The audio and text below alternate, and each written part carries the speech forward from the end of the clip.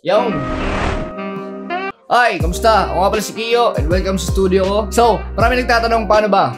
Paano, paano, paano, paano ba mag-upload ng kanta papuntang Spotify, Apple, Amazon, Deezer, kung ano-ano pang music streaming platforms. Sa panahon ngayon, mas pinadali na mag-upload ng music sa mga music streaming platforms. DIY na to. Para ka lang nag-upload ng picture sa social media. Ganun lang. So, may matagal na akong ginagamit, TuneCore. Dito ako nag-upload ng music. So, tuturuan ko kayo kung paano. So, ngayong year, nag-come up na sila sa unlimited plans. So, may iba-iba na silang uh, ino-offer ngayon. Pwede ka pumili dito sa mga artist plan nila. Sa Rising Artist Plans, ito yung pinaka-basic sa lahat. Kasama ng free. If you wanna try, Unlimited releases to all social platforms. YouTube official artist channel, Spotify checkmark. Sa musician, buddy. Let's go. $14.99 per year, buddy.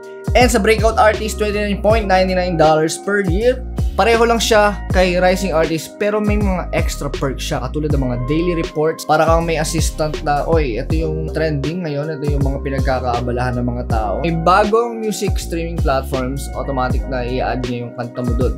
So, hindi ka na magbabayad ulit. And makakapag-schedule ka ng own release date mo. Dito lang sa, ano, dito sa Breakout Artist, pwede ka makapag-schedule ng mas maagang release. One week or ano, pwede yun. Pwede mo dito gawin yun sa Breakout Artist plan. Mas prioritize, kumbaga. At meron din tayong professional na $49.99 per year. So dito sa professional plan, dito sa plan na to, parang label ka na. Or ang baga ngayon ng mga tropa mo. Tapos dun yung i-upload sa isang account na yung lahat ng mga songs nyo. And syempre, itong professional plan, mas prioritize to sa customer service. One business day lang kumpara sa other plans. Prioritize kayo dito sa professional plan ito. New artist, ito yung libre lang. Kickstart your career with unlimited releases to social platforms. Ito ay my Spotify verified checkmark. May mga checklist dito sa baba ko. Mga perks. Ano yung mga perks na pwede mo makuha, depende sa plan na kukunin mo. So, lahat ng plan na yan, unlimited releases.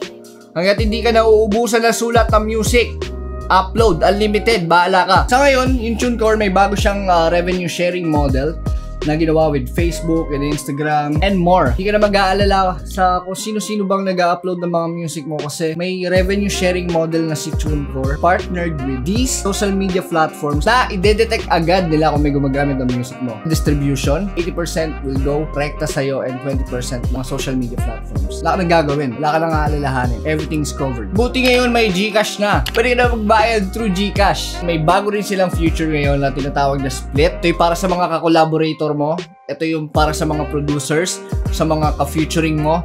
Ginagawa na ito, uh, dinedirekta na nito yung revenue or yung payment na nakinita nyo dun sa kanta nyo rekta sa mga dapat puntahan. So kayo-kayo na mag-uusap ilang percent sa'yo, sa kanya, ganito. Grabe no, safe eh no. TuneCore, shout sa inyo lahat. Nakapag-decide ka na, mag-game musician, buddy. Gamitin mo yung promo code ko para maka-discount ka pa. TCPH 2023. Yung link nasa description sa baba para maka-discount ka. Paalam. Thank you. Ingat kayo palagi. Kita kits. Abangan mo kayo sa mga bago. Wow.